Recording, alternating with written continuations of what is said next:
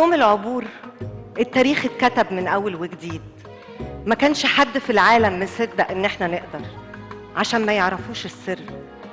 سر دعوة أم وأب من القلب. سر الله أكبر وعقيدة قتالية الجيش بيقول يا النصر يا الشهادة.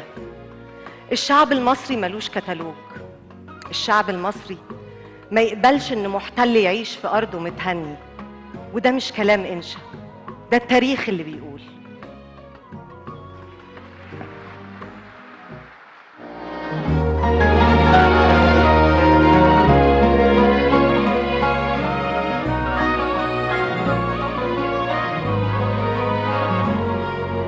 التاريخ بيقول إن محدش له حاجة عندي ولا عاش ولا كان اللي هيكسر شوكة بلدي. عاللي بيعتدي مصر عصية وعنيدة وحرة وقوية واللي يحاول يهدمها أنا ببنيها بيدي. ده الشعب اللي في حق بلاده عمره ما قصر محتل بدل ما يأثر هو اللي تأثر ما قدرش يغير ملامحنا خد مننا طريقتنا وروحنا وخرج من بلدي بيتكلم عربي مكسر. دي بلدي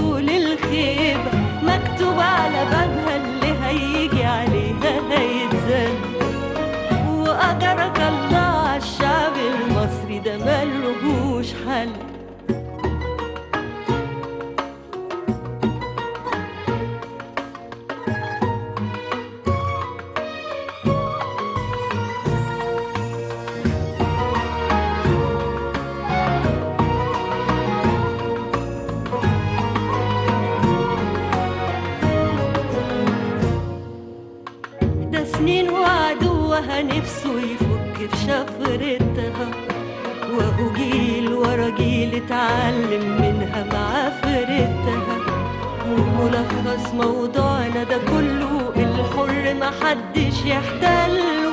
ويا ويله اللي يفكر ويهوب ناحيتها بعد يضربوا بيها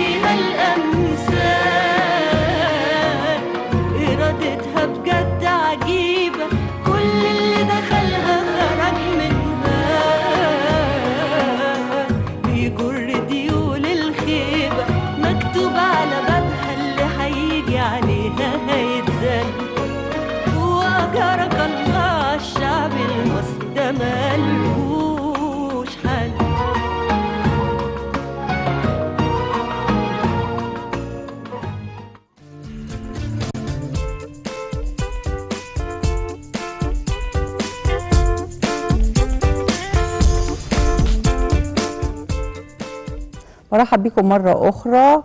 آه، معانا فقرة أخرى متصلة طبعا بانتصارات أكتوبر المجيدة في العيدية الخمسين. آه، وهي ما هو دور القوة الناعمة كان في هذا التوقيت. يسعدنا أن يكون معنا آه، الدكتورة سناء هاشم أستاذ السيناريو بالمعهد العالي للسينما. أهلا بحضرتك. أهلا وسهلا صباح الخير. صباح الخير.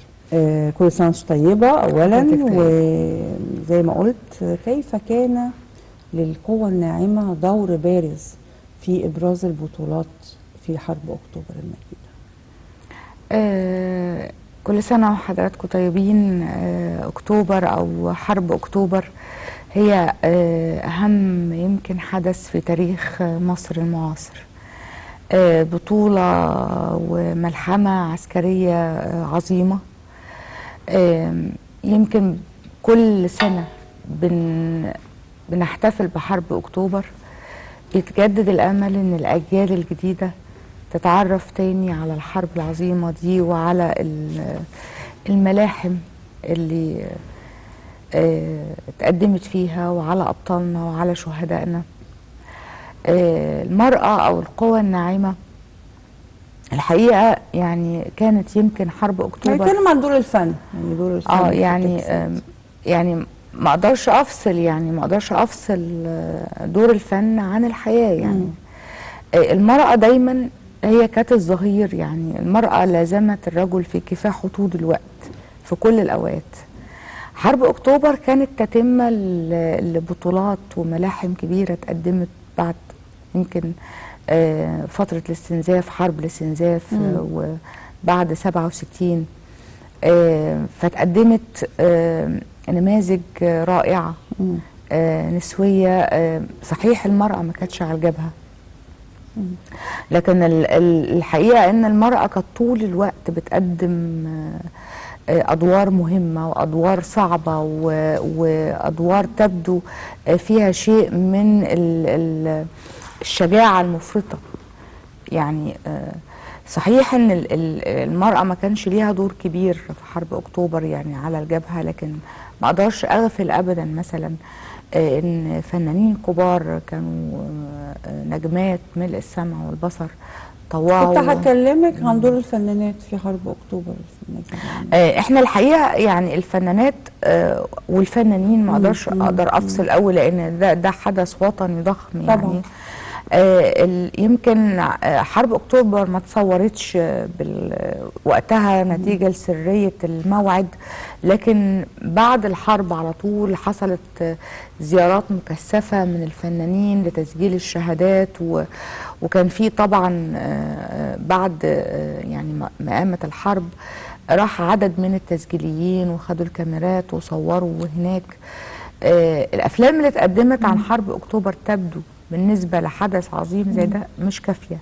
لكن أنا بعتقد إنها كانت إسهام وقتها عشان عظيم. كده دلوقتي حتى في الاحتفالية سيادة الرئيس آه، أبرزوا موضوع المنصة الإلكترونية التي يجب أن تجسد آه، أفلام وثائقية عن حرب أكتوبر. دي حاجة عظيمة طبعا آه،. طبعا ما هو لو إحنا شفنا مثلا الأفلام اللي اتعملت عن الحرب العالمية الثانية أو عن حروب أخرى في بلاد هنلاقي إن إحنا عندنا نقص في آه، النوع ده عموما من الأفلام. راجع لعده أسباب يعني منها ان أفلام الحرب مكلفة بشكل عام. آه، الحاجة الثانية إن فعلا آه، يمكن تبدو آه، آه، مسألة إن أنا أعمل فيلم عن حرب زي حرب أكتوبر آه، آه، تبدو آه، صعبة. لكن الحقيقة أنا عارفة إن تم رصد شهادات كتير من أبطال ومصابين وأهالي شهداء. مش بس آه، على مستوى الشهادات الحية على مستوى مذكرات اتثابت وعلى مستوى آه، لقاءات مع آه، قادة الحرب. وكل ده موجود. يبقى فقط إن إحنا يبقى عندنا إرادة إن إحنا نعمل أفلام توثيقية وأفلام روائية. يعني آه، الحقيقة يعني أنا عارفة إن أفلام الحروب ما بتنهضش بيها آه، كيانات صغيرة. وبالتالي عادة بتتدخل الدول أو تتشارك مع المنتجين في إنهم ينتجوا النوع ده المكلف جدا من من الأفلام. طيب هنتكلم عن دور المرأة. إزاي شفت دور المرأة في آه، حرب أكتوبر؟ المرأة يعني طبعا ما كانش موجودة على الجبهة يعني يمكن يعني آه، في الخلف يعني لكن المرأة مثلا. يعني ال- اللي بيقرأ في أدبيات الحرب هيكتشف إن المرأة قامت بأدوار غريبة ومهمة ومدهشة وجسورة جدا سواء مثلا في استخدام آه، آه، أهل سينا من الفتيات أو النساء في الاستطلاع آه، وعمليات التمويه ونقل ال- الأغذية آه، الستات الشعبيات العاديات كانوا بيتبرعوا بأبسط ما يملكن آه، من ملابس من آه، من أواني ال- زي النحاس اللي كان ليه قيمة زمان. آه، آه، بيتبرعوا يعني كانوا بيعملوا أكل وبعتوه للجنود على الجبهة. آه، آه، كان في حقيقي يعني ستات يمكن محدش يعرف عنهم حاجة. كانوا بيقوموا بأدوار آه، يعني م- م- مدهشة في دعم ال- ال- الجنود على الجبهة.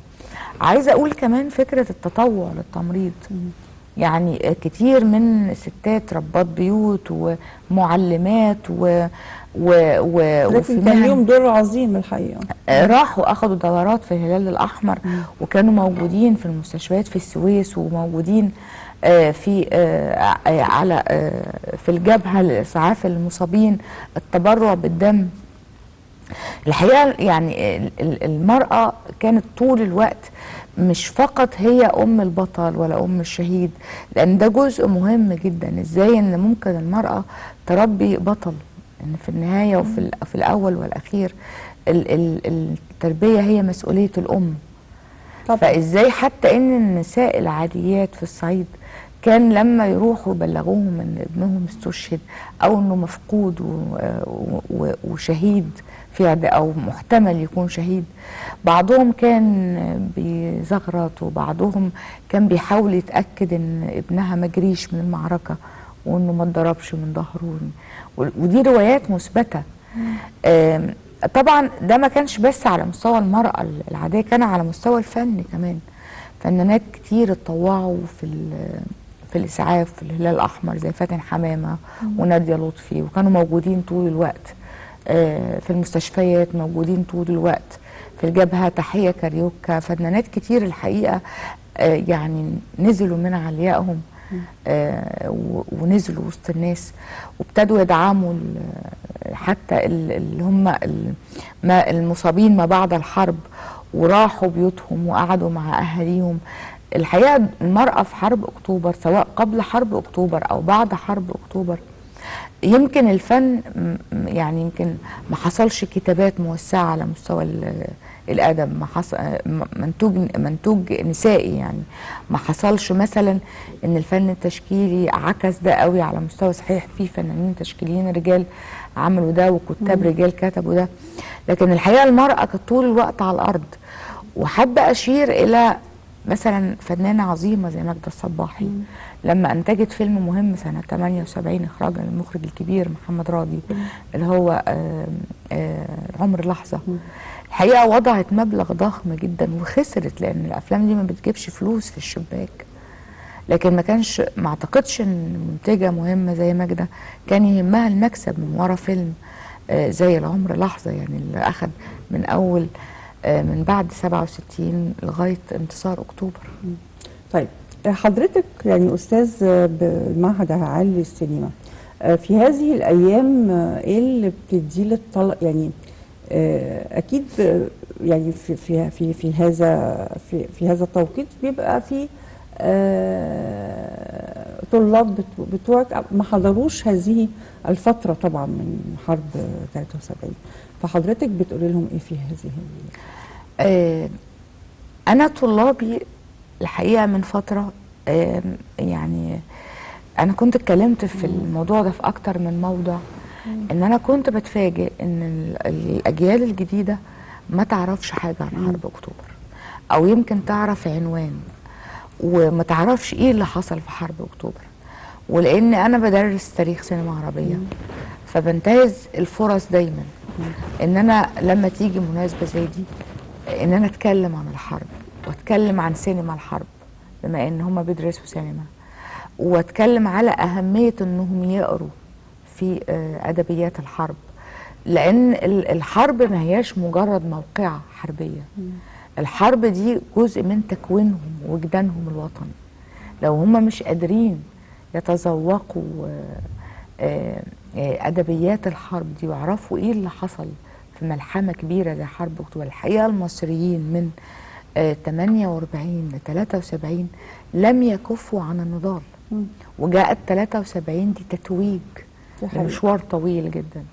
الحقيقة الأجيال دي ما حضرتش المعاناة دي ما حضرتش التهجير ما حضرتش آه، حتى لو كان في بيتهم شهيد أو أو بطل فأغلبه توفي أو سنهم كبير.